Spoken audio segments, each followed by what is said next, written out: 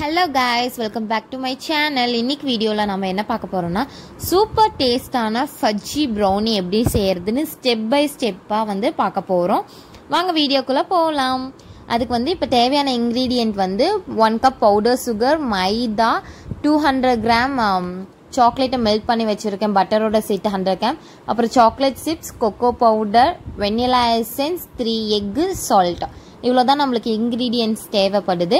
இப்போ வந்து மூணு முட்டையை வந்து நம்ம உடச்சி ஊற்றிக்கணும் நல்லா ஞாபகம் வச்சுக்கோங்க எக் வந்து நம்மளுக்கு ரூம் டெம்பரேச்சரில் தான் இருக்கணும்.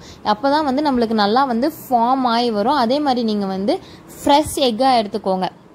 நல்லாவே தெரியும் ஃப்ரெஷ் எக் வந்து கடையில் வாங்குறப்பயே. ஸோ வந்து ஃப்ரெஷ் எக்காக எடுத்துக்கிட்டிங்கன்னா உங்களுக்கு வந்து அதோட டேஸ்ட்டும் சூப்பராக இருக்கும். அதே மாதிரி நல்லா ஃபார்ம் ஆகி வரும். இது கூட one table spoon vanilla essence போட்டுக்கோங்க. நம்ம எதுக்கு வெனிலா எசன்ஸ் யூஸ் பண்ணுறோன்னா பிகாஸ் அந்த எக்கோட ஸ்மெல் வரக்கூடாது. வெனிலா எசன்ஸ் வந்து அதை நல்லா கண்ட்ரோல் பண்ணி தரும். ஸோ வந்து அந்த வெனிலா எசன்ஸும் எக்கும் வந்து நல்லா வந்து மிக்ஸ் ஆகிற அளவுக்கு பீட் பண்ணிக்கோங்க. இங்கே நான் ஒன் கப் வந்து பவுடர் சுகர் எடுத்திருக்கேன். ஆக்சுவலாக இந்த பவுடர் சுகர் வந்து ஜஸ்ட்டு சுகரை வந்து மிக்சியில் போட்டு நல்லா கிரைண்ட் பண்ணி எடுத்திங்கன்னா அவ்வளோதான் ரெடி இது கூட வந்து ரெண்டு டீஸ்பூன் வந்து கார்ன்ஃப்ளவர் மாவு இருக்கு இல்லைங்களா அது போட்டிங்கன்னா ஐசிங் சுகர் ஆயிரும். அதுவும் வந்து இன்னும் நல்லாயிருக்கும். ஸோ இந்த மாதிரி பேட்ச் பேட்சாக த்ரீ பேட்சஸாக போட்டு நல்லா மிக்ஸ் பண்ணி எந்த ஒரு லம்ஸும் இல்லாமல் எடுத்துக்கோங்க.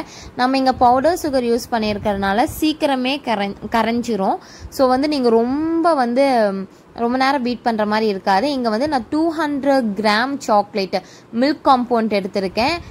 அது கூடவே வந்து ஹண்ட்ரட் கிராம் பட்டர் ரெண்டையும் போட்டு டபுள் பாயிலிங் மெத்தடில் மெல்ட் பண்ணி எடுத்துருக்கேன். இப்போ அந்த சாக்லேட்டை வந்து நம்ம ஊற்றிடணும் அப்புறம் ஊற்றி நல்லா கிளறிட்டு இப்போ வந்து சால்ட் போட மறந்துடவே மறந்துடாதீங்க. ஏன்னா வந்து டேஸ்ட்டை என்ஹான்ஸ் பண்ணி தரதே அந்த பிஞ்ச் ஆஃப் சால்ட் தான். இப்போ வந்து நம்ம ட்ரை இன்க்ரீடியன்ட் போடணும். அதுக்கு வந்து ஒரு கப்பு மைதா. இப்போ வந்து நம்ம ஒரு கப் சுகர் எடுத்துருக்கோன்னா அதுக்கு ஈக்குவலாக ஒரு கப்பு மைதா எடுத்துக்கணும். அதையும் வந்து சளிச்சு போட்டுக்கோங்க. இது கூடவே வந்து கால் கப்பு கொக்கோ பவுடர் இப்போ மோ டோட்டலாக வந்து நம்ம பார்த்தோம்னா ஒன்றே கால் கப்பு கிட்ட ஃப்ளார் போடுவோம். ஒன் கப்பு மைதா கால் கப்பு கொக்கோ பவுடர் ரெண்டையும் வந்து நல்லா சலிச்சு எந்த ஒரு லம்ஸும் இல்லாமல் வந்து நல்லா வந்து பீட் ப நல்லா கிளறிக்கோங்க. இப்போ பாருங்கள் நம்ம வடிகட் அந்த ஸ்ட்ரெயின் பண்ணனால தான் வந்து நம்மளுக்கு இந்த மாதிரி கெட்டி கெட்டியாக இருந்ததெல்லாம் தெரிஞ்சுது. நம்ம அப்படியே போட்டு செஞ்சிருந்தோம்னா அது வந்து சாப்பிட்றப்ப நல்லா இருந்திருக்காது. குக் ஆகிக்காமல் அதே மாதிரியே பச்சையாகவே இருந்திருக்கும். அது டேஸ்டியே ஸ்பாயில் பண்ணிடும் ஸோ அந்த மாதிரி மிக்ஸ் பண்ணிக்கோங்க. நல்லா கெட்டியாக தான் இருக்கும் பேட்டர் ஸோ நீங்கள் வந்து மில்க்கோ இல்லை வந்து தண்ணியோ எதுவுமே ஆயிலோ எதுவுமே ஊற்றக்கூடாது ஜஸ்ட் வந்து பேட்டர் வந்து இப்படி தான் இருக்கும். நல்லா வந்து போட்டு கிளறிக்கோங்க. இங்கே வந்து நான் இந்த கிளறதுக்கு முன்னாடியே வந்து நம்ம பேனை க்ரீஸ் பண்ணி வச்சுருந்தேன்.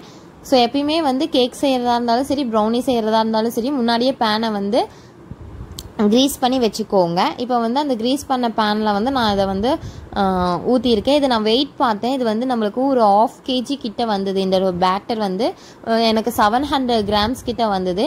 இது வந்து மேலே டேஸ்ட்டுக்கோசரம் நான் இதில் வந்து கொஞ்சம் சாக்லேட் சிப்ஸும் போட்டிருப்பேன். இது வந்து நல்லா தத்தி கொடுத்துக்கோங்க. ஏன்னா அப்போ தான் உள்ள ஏர் பபிள்ஸ் எதுவும் ஃபார்ம் ஆகாமல் இருக்காது. ஸோ வந்து நல்லா வந்து சாக்லேட் சிப்ஸு மேலே வந்து எனக்கு பாதாம் ரொம்ப பிடிக்கும்னு சொல்லி பாதாம் போட்டிருந்தேன். இதை வந்து ஓவனில் one eighty degree செல்சியஸுக்கு thirty to forty minutes cook பண்ணி எடுத்திங்கன்னா சூப்பர் டேஸ்ட்டான ஃப்ரெஜ்ஜி ப்ரௌனி ரெடி நீங்களும் வீட்டில் செஞ்சு பாருங்கள் இதை குக்கர்லேயே செய்யலாம்.